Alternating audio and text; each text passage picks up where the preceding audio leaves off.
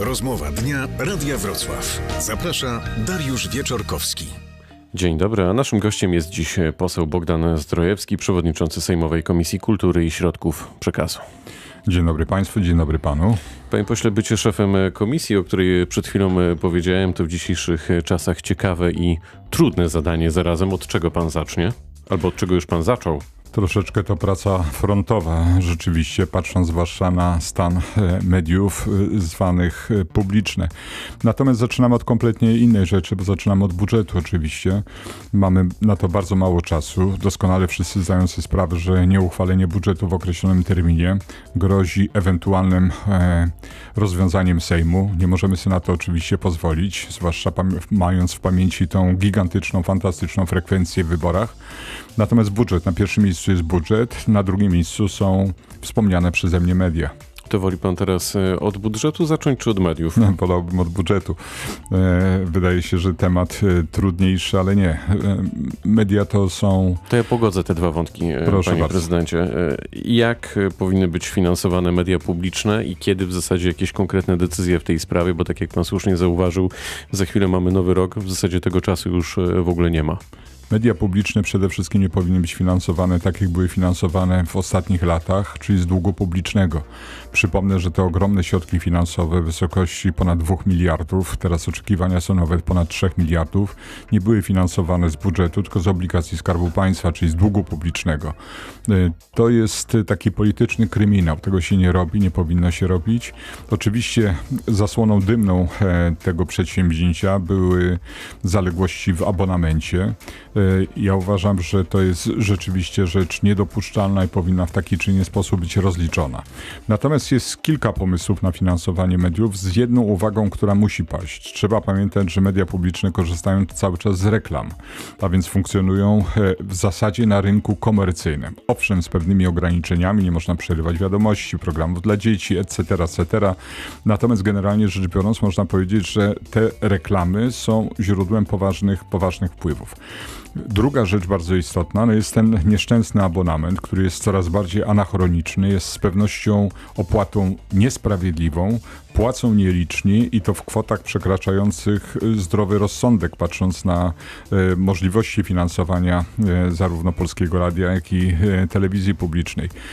No i element ostatni to jest pewnego rodzaju zaszłość. No ci, którzy zarejestrowali odbiornik radiowy czy telewizyjny, czy jeden i drugi ileś tam lat temu, 20-30 lat temu, płacą ten abonament, natomiast i są ścigani jak nie płacą, natomiast całe młodsze pokolenie albo pokolenie, które lokuje się już w nowych domach, w nowych mieszkaniach, w ogóle nie ma zielonego pojęcia o takim obowiązku. No dobrze, ale jak to będzie w takim razie konkretnie wyglądać e, w kolejnym roku, w 2024 roku, jeśli mówimy o Jeżeli chodzi o krótką perspektywę, są tylko dwa rozwiązania. Pierwsze oczywiście, aby przenieść to zobowiązanie wprost do budżetu państwa, ale aby ono nie było oczywiście tej wielkości, o której wspomniałem wcześniej, czyli kilku miliardów złotych.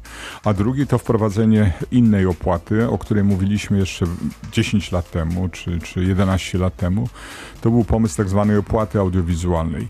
Niewiele zresztą zabrakło do tego, aby przy okazji głosowania weta prezydenta do ustawy medialnej, nad którą pracowałem, e, wprowadzić wprost dotację z budżetu państwa. Ta różnica wówczas y, była niewielka, jeżeli chodzi o spór, to było 700 czy 800 milionów złotych, ale potem pojawiła się propozycja tak zwanej opłaty audiowizualnej, czyli opłaty dość powszechnej, ściąganej od razu z PIT-u czy z CIT-u w wysokości y, naprawdę symbolicznej, bo około 9-9 z groszami rocznie.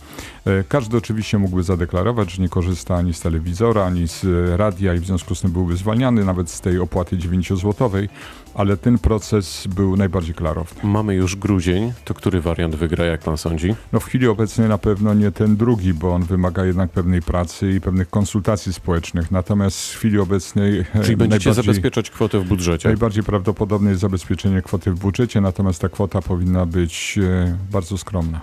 Skromna, czyli? Y, nie jestem w stanie tego w tej chwili oszacować, ale generalnie rzecz biorąc mówimy o kwotach do miliarda raczej. niż powyżej. E, jeszcze jedna rzecz jest ważna. My nie znamy stanu e, finansów publicznych. Znaczna ilość środków finansowych została poukrywana w rozmaitych zobowiązaniach, w tym także w bardziej klarownych, bardziej transparentnych obligacjach Skarbu Państwa. Dochodzą do nas informacje, że są wydatkowane z Kancelarii Prezydenta ogromne środki finansowe właśnie z obligacji Skarbu Państwa, także w chwili obecnej, na rozmaite cele.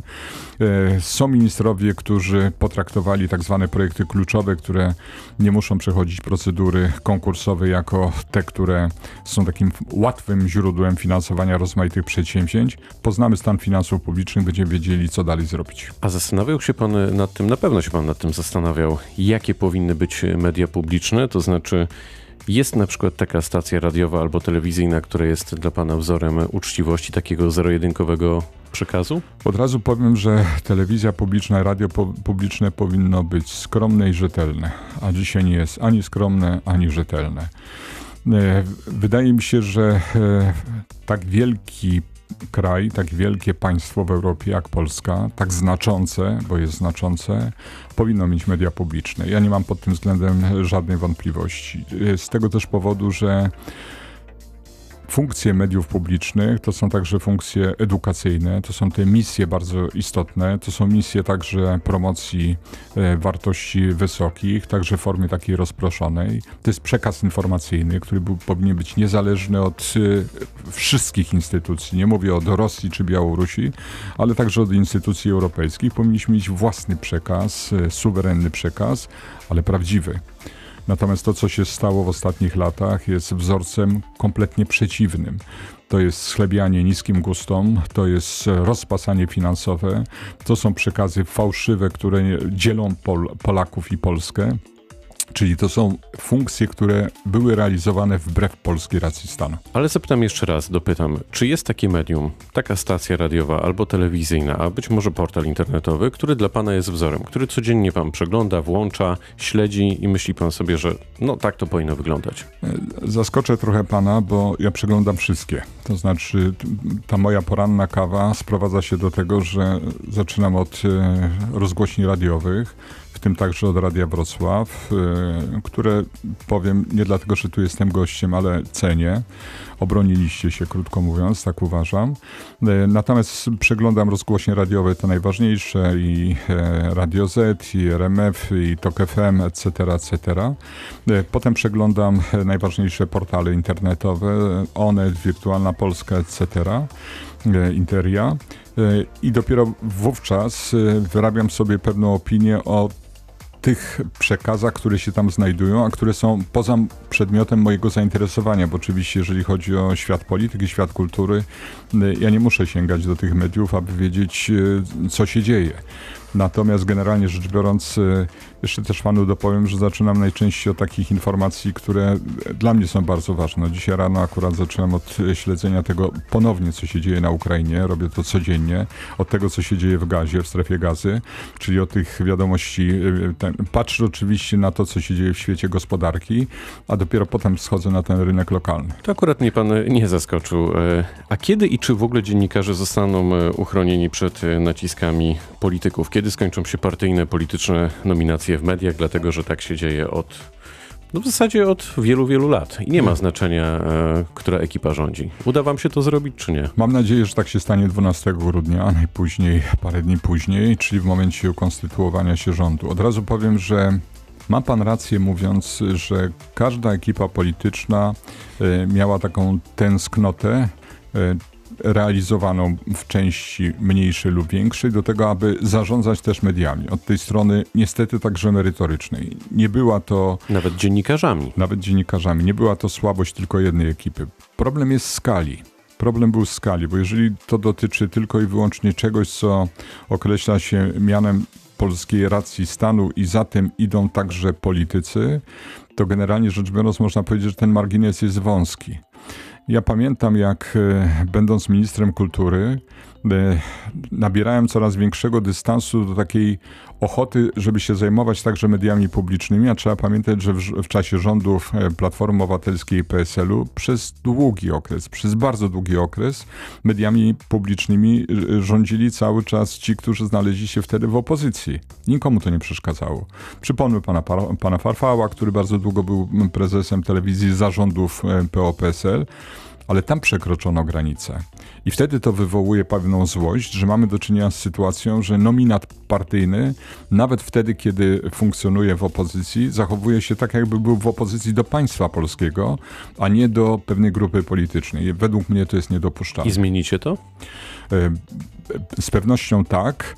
E, ja cały czas jestem przekonany o tym, że to przedsięwzięcie nam się uda, ale jest jeszcze jedno ważne przed nami. My musimy rozliczyć wszystkich tych, którzy posługiwali się tytułem dziennikarzy, a dziennikarzami z pewnością nie byli. To to jest bardzo ciekawe zagadnienie. E, w jaki sposób chcecie to zrobić? Jak, jakie kryteria? Kto, kto miałby to robić? Kryterium jest e, proste i ja marzę o tym, aby to zrobili sami dziennikarze, ci prawdziwi dziennikarze.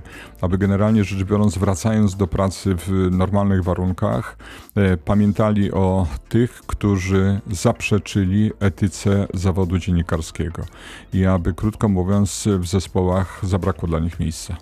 To teraz e, Wrocław e, i Dolny Śląsk. E, tak się składa, że był pan również na tej konferencji prasowej razem z panem posłem Michałem Jarosem, kiedy w ratuszu ogłosiliście powstanie klubu Platformy Obywatelskiej. Czy na pół roku przed wyborami pan niezwykle doświadczony samorządowiec, przede wszystkim prezydent Wrocławia, potrafiłby już jednoznacznie wskazać, jak te najbliższe tygodnie w naszej tutaj lokalnej polityce będą wyglądać. Mówiąc wprost, tak się składa, że jak pytamy tutaj rozmaite środowiska polityczne o to, czy poprą na przykład pana prezydenta Jacka Sutryka za pół roku, a może właśnie za kilka tygodni, to nikt w zasadzie jeszcze jednoznacznie takiego poparcia nie udzielił.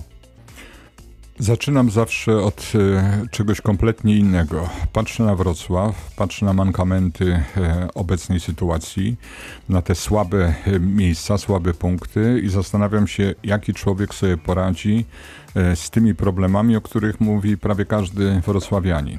I wolę zacząć od problemów. Wczoraj odbył się zarząd regionu, zarząd regionu Platformy Obywatelskiej, bardzo interesujący, bardzo merytoryczny. Prowadził go właśnie Michał Jaros. I pierwsza część dotyczyła kampanii wyborczej e, od strony merytorycznej i personalnej, czyli zbudowaliśmy przede wszystkim ramy pozyskiwania, poszukiwania ciekawych postaci, którzy, które chciałyby rzeczywiście do tej roli radnego, wojewódzkiego, miejskiego, gminnego, etc. aspirować. I chcemy to zrobić z dużym wyprzedzeniem, aby po prostu mieć osoby także nowe, świeże, ale także z określonymi kompetencjami, z określonym doświadczeniem. No, czyli wyraźnie wybrzmiewa z Pana słów e, fakt, że już e, przygotowujecie się mocno do wyborów. To jest odpowiedź na, ta, na tą część pytania o harmonogram. Ta procedura potrwa od kilku do maksimum kilkunastu tygodni. Chcemy ją zakończyć gdzieś na przełomie stycznia, lutego i wtedy pojawią się kolejne deklaracje. Druga rzecz bardzo ważna i druga część naszego spotkania to było spotkanie z radnymi, naszymi radnymi w Semiku Wojewódzkim. Chodziło o to, aby oni opisali sytuację, jaka, z jaką mamy do czynienia, wyzwania, z jakimi mamy do czynienia. Padło bardzo wiele ciekawych y, także sugestii, także pytań dotyczących sposobu dystrybucji środków finansowych, na przykład na zabytki. I Wczoraj była... o 20 mieliśmy bardzo gorącą e, debatę z e, uczestnikami, mm, radnymi Sejmiku Województwa Dolnośląskiego. O właśnie. I to się jakoś odbywało równolegle. Natomiast to, co jest dla mnie najważniejsze, to jest e, oczywiście samo miasto. Ja jestem w stanie zdefiniować w chwili obecnej takich 10 naj poważniejszych problemów miasta, z którymi się trzeba zmierzyć. Aż One, 10? E, co najmniej 10. Co najmniej 10. Co najmniej 10. E, one są związane z urbanistyką, po części z architekturą, z układem komunikacyjnym, z inżynierią ruchu, także z kondycją spółek e, gminnych, zaczynając od MPWiK, kończąc na cmentarzach. Te wszystkie problemy, one są kluczowe, czasami bolesne, czasami widoczne dla wszystkich, czasami troszkę ukryte, ale trzeba od nich wyjść, aby wiedzieć, jaki zespół tak naprawdę ma ciągnąć w tej następnej kadencji interesy miasta Wrocławia, aby wrocławianie, krótko mówiąc, poczuli pewną ulgę. No właśnie, to tutaj w studiu mamy dwa telewizory. Proszę sobie wyobrazić, że na tym po lewej stronie jest zdjęcie pana posła Michała Jarosa, a na drugim e, zdjęcie pana prezydenta Jacka Sutryka. Myślałem, który... że ten pożar, który widzimy. Nie, tam. na szczęście nie. Na który telewizor pan wskazuje? E, wskazuje w tej chwili na e, kontekst, który jest dużo ważniejszy. Otóż my mamy podpisaną koalicję z Jackiem Sutrykiem. Do końca kadencji. porozumienie i to jest do końca kadencji. I ja uważam, że zrywanie tej koalicji... To czy... nie chodzi o zrywanie, panie prezydencie, chodzi o przyszłość. Okej, okay, ale zrywanie tej koalicji może nastąpić poprzez wskazanie osoby już w chwili obecnej. Dlatego, tak pan sądzi, że, że pan tak prezydent sądzę. by się obraził? E, nawet nie chodzi o obrażenie. Miałby prawo do tego, aby poczuć się w tej materii, krótko mówiąc e, wprowadzony w, w, stan e, rozwiązania pewnej umowy. A ja uważam, to jak chcecie to zrobić? E, w porozumieniu. Znaczy, według Chcecie mnie, namówić pana prezydenta? Według mnie Jacek Sutryk powinien wiedzieć i to wiedzieć pierwszy, jeżeli powstanie decyzja o tym, że będziemy wspierać innego kandydata. Ja uważam, że popełnił błąd, zgłaszając y, siebie i swoją osobę w wyborach tak jak on to zrobił. On no zrobił pan, tak... czyli on to zrobił wyprzedzając was. I według mnie to jest błąd, ale my nie chcemy tego błędu powtarzać. To znaczy nie chcemy, aby ten błąd był po naszej stronie. To jest jego błąd. Mm, e, od razu powiem, że nie jakiś wielki, nie niewybaczalny, ale to był błąd, dlatego że ja uważam, że zarządzanie miastem to nie jest wyzwanie jednoosobowe, to jest wyzwanie całego zespołu, to jest e, także zespół radnych. Wszyscy powinni się traktować z szacunkiem, z, w sposób podmiotowy i pamiętając o tym, że nikt nie dźwignie miasta jednoosobowo. To kto będzie kandydatem Platformy Obywatelskiej? Człowiek. Bogdan Zdrojewski, przewodniczący Sejmowej Komisji Kultury i Środków Przekazu, był gościem rozmowy dnia. Bardzo dziękuję za Dziękuję spotkanie. bardzo serdecznie, pozdrawiam. Dziękuję także słuchaczom. Rozmowa dnia Radia Wrocław. Pięknego dnia życzył Dariusz Wieczorkowski.